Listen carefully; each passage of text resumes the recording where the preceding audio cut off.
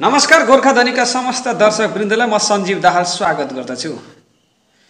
दर्शक वृन्द हामी सबैलाई थाहा छ तिनसुकिया जिल्लामा मार्घेरिटा आञ्चलिक गोर्खा छात्र सङ्घ आक्सुको अधिवेशनमा हालैमा दुई दिन अघि हामीले देख्न पायौँ नेपालबाट आएकी कलाकारले गायिकाले अर्ध वस्त्र लगाएर जुन उहाँले गीत प्रस्तुत गर्नुभएको थियो त्यसलाई लिएर अहिले समग्र असममा विवाद चर्किएको छ।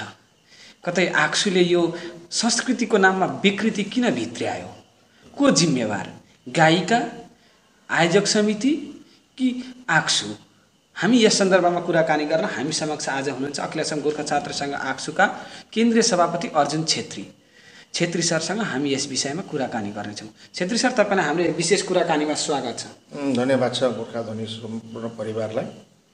सर सबै कुरा थाहा पाइहाल्नुभयो होइन? तपाईँ केन्द्रीय सभापति हुनुहुन्छ। अखिल असम गोर्खा छात्र सङ्घ आक्सुको मार्गरिटा आञ्चलिक समितिको अधिवेशनमा यो कुनै सांस्कृतिक कार्यक्रम थिएन वा तिज समारोह तिहार समारोह वा अन्य कुनै गीत नृत्यको कार्यक्रम थिएन। अधिवेशनमा अधिवेशन पश्चात आयोजित बेलुकीको एउटा सांस्कृतिक साँझमा त्यो तरिकाले त्यो जुन उहाँको त्यो गायिकाको ड्रेस थियो त्यो ड्रेस हाम्रो असममा साँच्चै भन्नु भने अहिलेसम्म स्वीकार्य छैन हाम्रो समाजले स्वीकार गरेको छैन। त्यसको लागि सोझै आक्सुलाई गाली गरिँदैछ होइन? संस्कृतिको नाममा विकृति भित्र्यायो भन्ने। अनि कतै न कतै यो आरोपमाथि तपाईँहरूमाथि लागिरहेको छ केन्द्र समितिमाथि पनि। के भन्न चाहनुहुन्छ? होइन यो आरोप लाग्नु त स्वाभाविक कुरा हो। किनभनेदेखि जुन खालको घटना मार्गेटामा भयो त्यसको लागि हामी हामी आफै केन्द्र समिति पनि हामी आज अन्यलमा छौँ। किनभने त्यस्तो खालको किन हुन गयो? किन हुन पुग्यो? किनभनेदेखि जुन चाहिँ त्यहाँ एउटा विकृतिकारी संस्कृति त्यहाँ देखाइयो जुन चाहिँ भनौँ आक्सुको मञ्चलाई बिगार्ने काम त्यहाँ गर्यो त्यसको लागि हामी अखिल असम गोर्खा छात्र सङ्घ केन्द्र समितिले त्यसलाई भर्त्सना गर्दछौँ। र इमिडिएट जुन आयोजक समिति अथवा मार्गरेट आञ्चलिक समितिले जुन कर्मकाण्ड त्यहाँ गरे अथवा जुन चाहिँ कर्म त्यहाँ भयो आक्सुको जुन चाहिँ अ, मान मा- आ- आक्सुको जुन चाहिँ मञ्च। मञ्च हो त्यसलाई धमिल्याउने काम जुन खालको त्यहाँ भयो त्यसको लागि आगामी दिनमा अखिल असम गोर्खा छात्र सङ्घ केन्द्र समितिले आक्सुको जुन चाहिँ हामीहरूको संविधानको गण्डीमा रहेर त्यो आञ्चलिक समितिको एगेन्स्टमा के व्यवस्था लिनुपर्ने हो त्यो अति चाँडोभन्दा चाँडो हामी त्यो व्य- व्यवस्था लिन हामी चिन्ता चर्चामा हामी छौँ। अनि त्यो व्यवस्था त लिनुहुन्छ तर यहाँ सबैभन्दा अर्को एउटा ठुलो प्रश्न उठिरहेको छ अर्को आवाज उठिरहेको छ। कि हाम्रो यहाँ कलाकार थिएनन्? आसाममा हाम्रो नेपाली गाउन जान्ने गायिका गायक गायिका थिएनन्? पारिपाबाटै निम्त्याउनुपर्छ भन्ने के थियो? होइन एउटा कुरा कलाकार कलाकारितामा अथवा साहित्यमा कुनै पनि बााउन्ड्री चाहिँ हुँदैन। यो कुरा हामीले जानेको हुनुपर्छ। तर आक्सुको मञ्चबाट हामी एउटा विशेष हाम्रो एउटा अनुरोध थियो अथवा हाम्रो एउटा आह्वान थियो। जे आसाममा भएका गोर्खा जति पनि संस्कृति संस्कृतिलाई गर्मान गोर्खाहरू छन् जसले भनौँ भनौँ गायकहरू गायकहरू छन् विभिन्न गायकहरू छन् तिलक नेवार जस्ता हाम्रो के अरे रोहित सुनार जस्ता भाइ हाम्रो सुरेखा बहिनी जस्तो यहाँ होनहार गायका हुँदा हुँदै पनि कुनै खालको हामी केन्द्र समितिसँग कुनै खालको आलोचना नगरिकन उहाँको आयोजक समितिले अथवा मार्गरेट आञ्चलिक समितिले काहीँ बाहिरबाट कलाकार बोलाएर जुन काम चाहिँ गर्यो त्यो कामलाई अलरेडी हामीले धिकारेका छौँ। र आगामी दिनमा कुनै पनि आञ्चलिक समिति जिल्ला समिति अथवा केन्द्र समिति अथवा कुनै पनि शाखा समिति आक्सुकोले असमका कलाकारलाई छोडेर बाहिरबाट कलाकार ल्याएर कर माने कुनै खालको संस्कृतिको काम गर्छ भने त्यो सांस्कृतिक कार्यक्रमलाई इमिडिएट केन्द्र समितिले क्यान्सल गर्छ अथवा सांस्कृतिक कार्यक्रम केन्द्र समितिले हुन दिँदैन। कुनै पनि आञ्चलिक समितिको। अँ आञ्चलिक समितिसँग पैसा धेरै छ भने केन्द्र समितिलाई दिन म आग्रह आग्रह गर्दछु। किनभने केन्द्र समितिमा कोष नहुनाले हामीले धेरै गर्नुपर्ने कामहरू गर्न सकेका छैनौँ। र दुनियाँ पैसा दिएर बाहिरबाट कलाकार बोलाएर रातभरि नचाउनुभन्दा चाहिँ जातिको काम गर्न त्यो पैसाहरू सही ठाउँमा युटिलाइज गर्न म आह्वान गर्दछु सबै आञ्चलिक समितिहरूलाई। र आसामदेखि बाहिरको अथवा भारतदेखि बाहिरको सीमा भारतको सीमादेखि ब- रे- रेखाबाट बाहिरबाट कलाकार ल्याएर चाहिँ आक्सुको मञ्चमा आइन्दा यस्तो कुनै पनि आक्सुको मञ्चमा संस्कृतिको नाममा भनौँ कुनै पनि संस्कृतिको कर्महरू नगर्न हुन भन हामी निर्देश यसै गोर्खा ध्वनिबाट हामी सबै आञ्चलिक समिति र जिल्ला समितिलाई हामी निर्देश जारी गर्दछौँ। भनेपछि तपाईँ त्यो कार्यक्रम लिएर अनभिज्ञ हुनुहुन्थ्यो। हजुर। थाहा थिएन तपाईँ होइन हामीहरूलाई त केन्द्र समितिलाई हामीलाई इभेन त्यहाँ केन्द्र समितिको जानुभएको हाम्रो नेतृत्वलाई पनि थाहा थिएन जे राति गाउने को आउँछ। किनभने हेर्नुहोस् हामीलाई हामी जब हामी कुनै पनि आञ्चलिक समिति अथवा जिल्ला समितिको हामी कार्यक्रममा जान्छौँ भने हामीहरूको मूल हामीहरूको हाम्रो सोच हुन्छ आजको जुन आम स्वभाव मूल स्वभाव त्यसलाई कुन तरिकाले हामीले सक्सेस बनाउँ।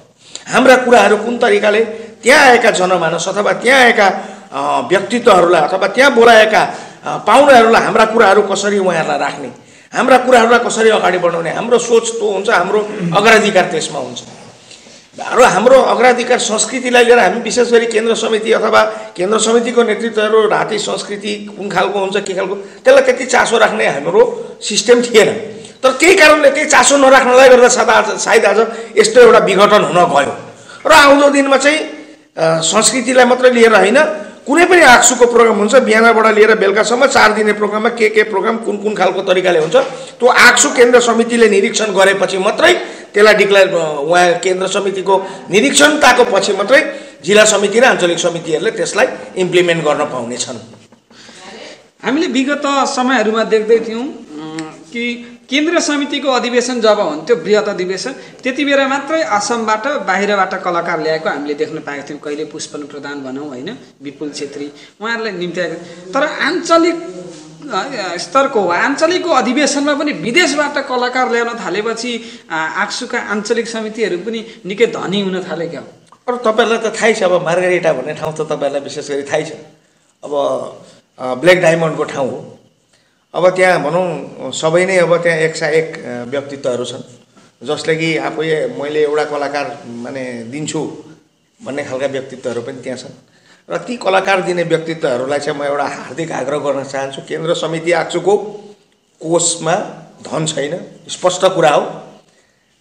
धन नहुनाको कारणले गर्दा हामीले कति प्राय लिनुपर्ने हाम्रो कार्यक्रमहरू आज हामीले लिन सकेका छैनौँ। र ती विदेशबाट अथवा बाहिर कुनै ठाउँबाट कलाकार बोलाएर पैसा खर्च गर्नुभन्दा चाहिँ यी हामीहरूका लोकल कलाकार जति छन् उहाँहरूलाई प्रोत्साहन गर्ने नयाँ नयाँ भाइहरू अहिले कलाकारितामा नयाँ नयाँ भाइहरू आउँदैछन्। र भारतमा पनि भनौँ दार्जिलिङ सिक्किम देहरादुन भाग्सु गान्तोक हिमाचलमा पनि हामीहरूका निकै अगाडि बढेका कलाकारहरू छन्।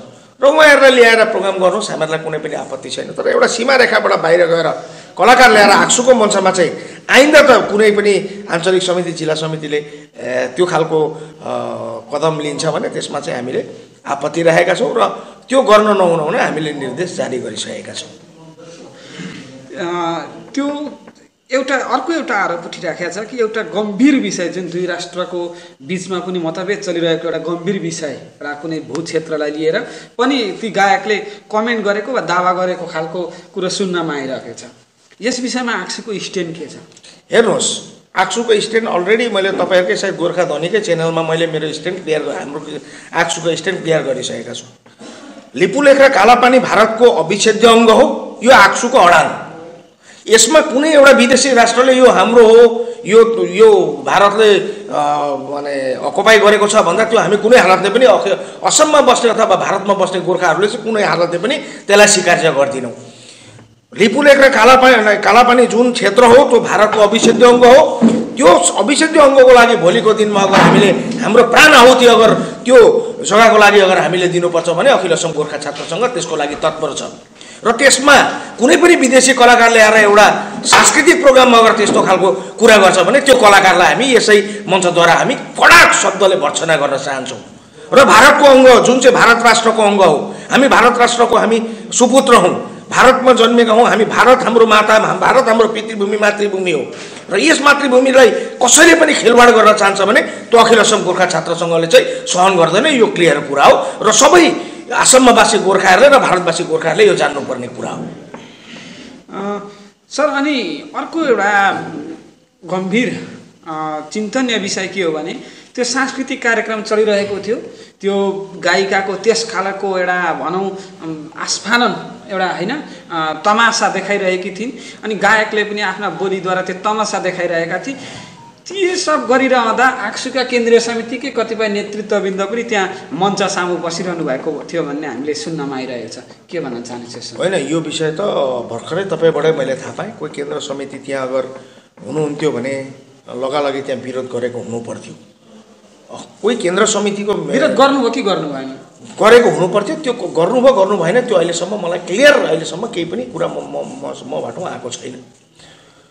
र जुन खालको त्यहाँ हुन त आज हामीले आयोजक समितिलाई हामीले जतिपल्ट यो विषय जब सञ्चार माध्यमहरूमा अथवा